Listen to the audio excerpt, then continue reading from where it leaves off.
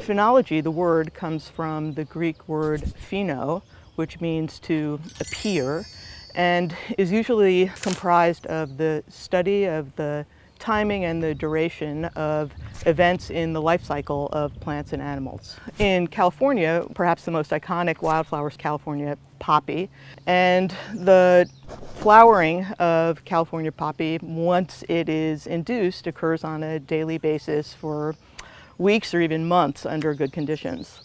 And the petals open to reveal the pollen containing anthers inside until the flowers are pollinated, at which point the flowers will wilt, the petals will fall off, and the, the seed containing ovary will rapidly expand to contain hundreds of seeds which will disperse by the wind when the fruit opens up.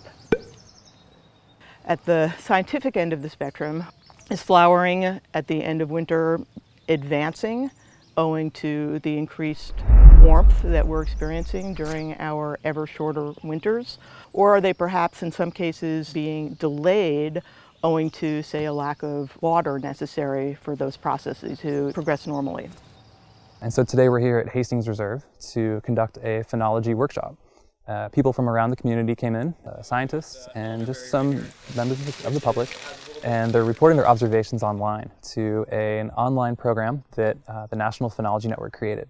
Essentially, this program, it's almost like Facebook for nature. Well, we all recognize that there aren't enough scientists in California or elsewhere to provide enough phenological observations with enough frequency to be able to detect small changes from year to year. And so for that, we need to turn to the public to contribute to the statewide and ultimately to the national database as well. The high wheelers are kind of fascinating. High wheelers were sort of like this thrill-seeking technology ridden primarily by sort of athletic young men. There's stories of practices where when they started going downhill and the pedals were directly connected to the front wheel. And so, you know, as fast as the wheel's spinning, so are the pedals. And if you're going downhill and you get going too fast, it could be hard to keep your feet on there. And so some of the young men